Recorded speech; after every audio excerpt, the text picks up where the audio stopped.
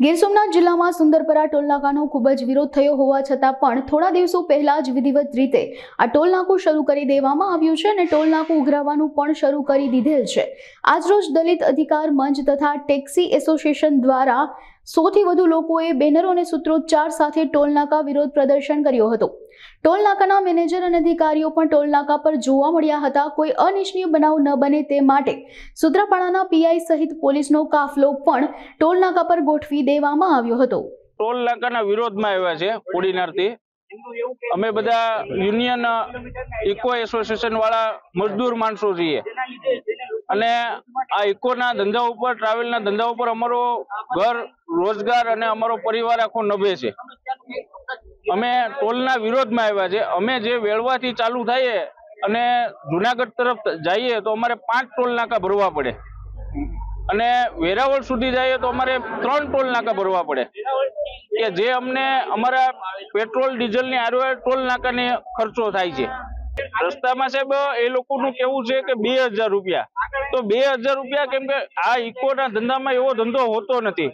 તમને ખુદને ખ્યાલ હોય કે ટ્રાવેલના ધંધામાં પેસેન્જર વાર તહેવાર હોય ત્યારે જ થાય.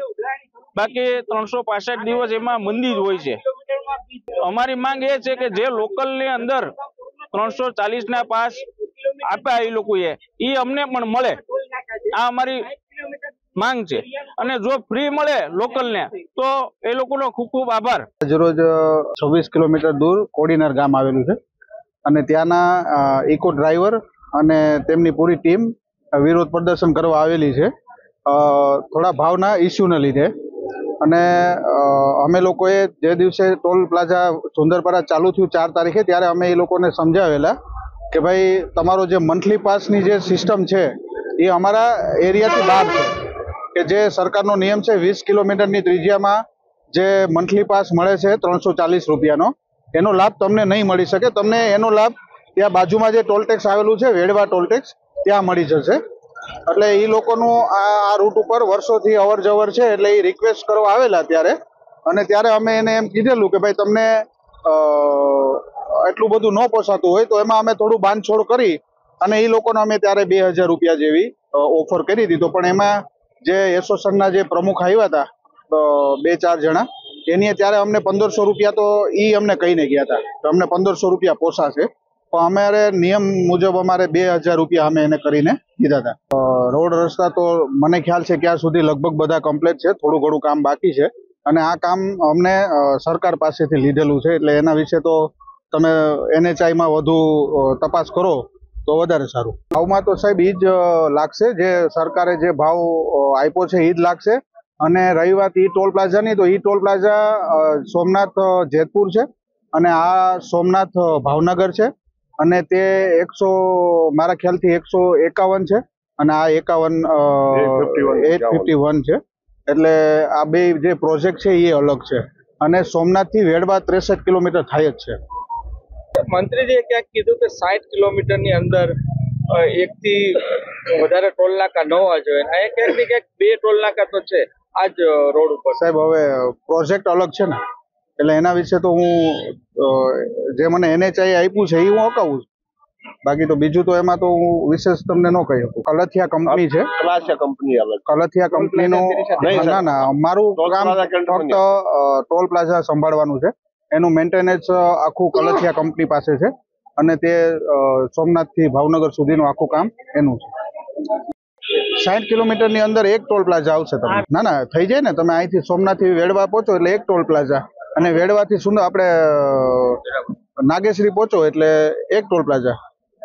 આ રૂટ ઉપર ટોટલ પાંચથી ચારથી પાંચ ટોલ પ્લાઝા આવશે જેટલો રોડનું કામ જેટલું બાકી હશે ને એટલો ટોલ ઓછો હોય છે. આ રોડ જયારે પૂરો થઈ જશે ને એટલે એને આની આ બધાની પ્રાઇસ બધાની એક થઈ જશે.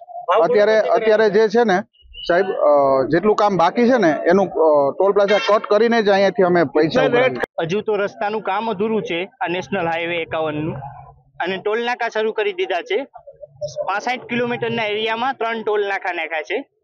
ઉપરથી આ લોકલ જે લોકો છે, રોજ માટે બે ચાર વાર ફેરા કરતા હોય, એ લોકોની એવી ડિમાન્ડ હતી કે અમને લોકોને આમાં કંઈક રાહત મળે.